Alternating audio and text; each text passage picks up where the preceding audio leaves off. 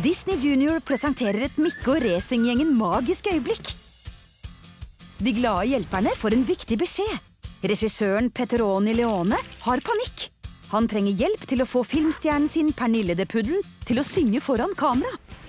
Pasta fagioli! Filmen er en katastrofe! Og Pernille er perfekt få rollen, men hun kan ikke synge! Jeg blir nødt til å bytte henne ute!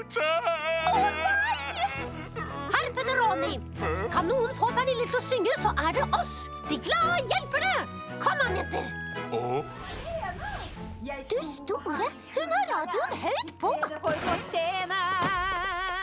Hei, det er ikke radioen. Det er Pernille som synger i dusjen.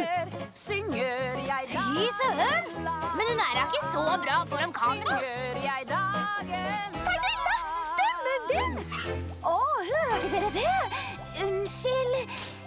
synger alltid i dusjen. Da er det ingen som hører hvor dårlig jeg er. Men du synger helt nydelig. Hva? Nei! Virkelig? Kanskje lettere å synge når ingen hører på. Å, men glem det.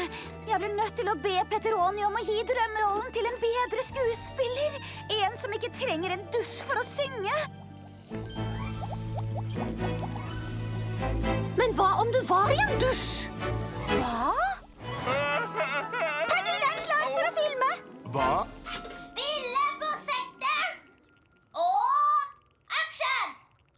Alltid hatt lyst til å si det. Take fire.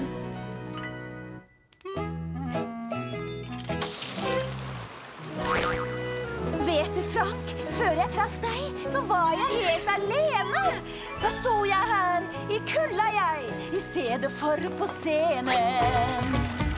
Å, vet du, Frank, du hjalp meg frem, er endelig i gang.